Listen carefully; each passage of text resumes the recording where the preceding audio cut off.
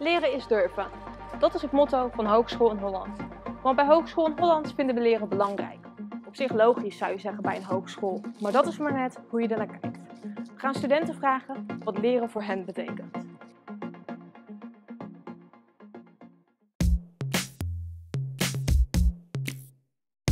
Uh, leren voor mij is jezelf zijn en eigenlijk gewoon ja, iets wat je leuk vindt, je, ja, je droom achterna gaan.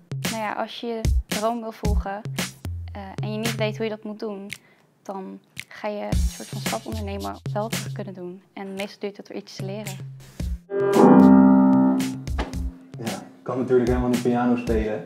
Maar uh, leren, dat is doorzetten, ook als het niet lukt. Dat gaat met vallen en opstaan. Misschien zet ik mezelf nu wel verschrikkelijk voor lul.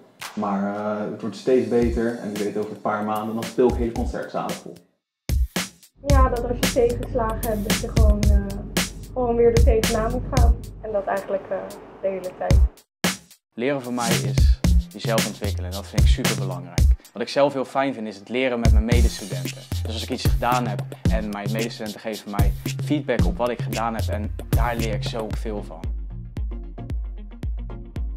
Leren is voor mij het eh, beste in mezelf naar boven halen. Uh, vooral je toekomst verbreden. En zoek toch naar jezelf. Wat wil je later? Wil je verder groeien? Jezelf ontwikkelen en de wereld ontdekken. Leren van je eigen fouten, gaan doen waar je je goed bij voelt en dan je eigen grenzen zoeken. Voor mij is leren je hart volgen. Dus uh, dat eigenlijk dingen doen waardoor je je wereld verbreedt. En eigenlijk niet eens zozeer om echt te leren en er slimmer van te worden, maar gewoon om iets te doen waar je van houdt.